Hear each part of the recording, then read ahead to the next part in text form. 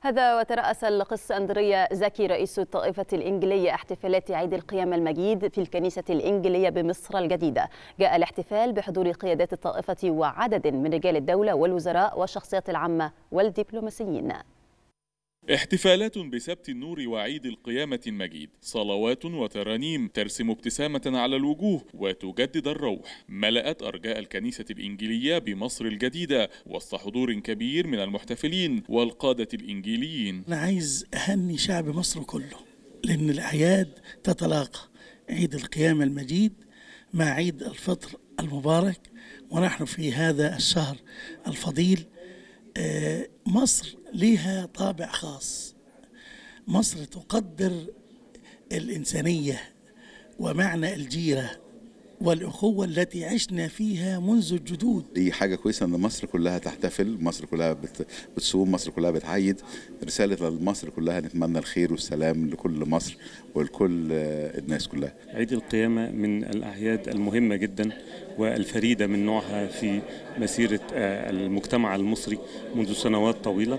نحرص في هذا اليوم على الحضور. هو يوم يوم عيد لنا جميعا.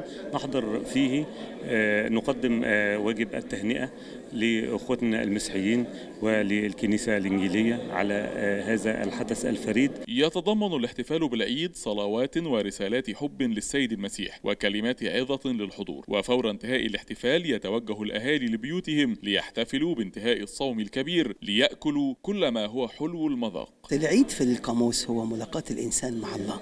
العيد كمان هو ملاقاة الناس ببعضها. فإحنا كده في عيد كل يوم بنتقابل مع بعض عيد. لكن تزامن الوقت في عيد القيامة وعيد الفطر مع بعض دي حاجة جميلة. ويعني كده ما تعرفش جت إزاي. لكن عاوز أقول لك إن الله في حكمته عاوز يقول إن إحنا نفرح مع بعض ونصوم مع بعض ونعيد مع بعض.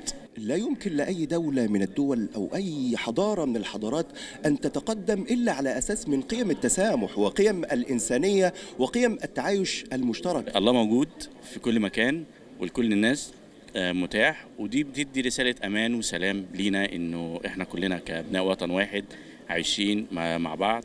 بمحبة وسلام. ويعد عيد القيامة آخر أيام أسبوع الآلام الذي بدأ بأحد السعف واستقبال السيد المسيح في القدس ويليه ستة أيام من أيام السبخة وخميس العهد في العشاء الأخير وسبت النور. يتزامن عيد القيامة المجيد هذا العام مع عيد الفطر المبارك ليحتفل المصريون جميعا بأعيادهم وسط فرحة وبهجة وليرسلوا رسالة سلام ومحبة للعالم أجمع. كريم بيبرس التلفزيون المصري.